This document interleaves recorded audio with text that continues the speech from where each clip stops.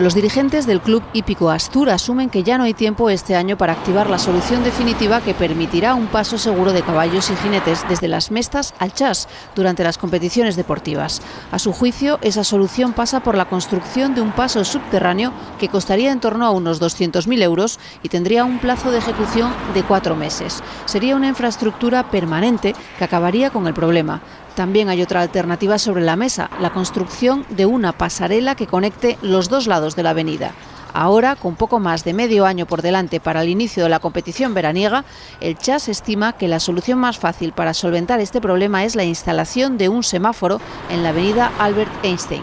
De este modo, no habría necesidad de cortar la calle para el paso de los caballos estabulados en las cuadras de las mestas. El CHAS está a la espera de mantener una reunión con el actual equipo de gobierno para reactivar su propuesta de construir una empresa mixta con el ayuntamiento para facilitar la colaboración deportiva entre ambos.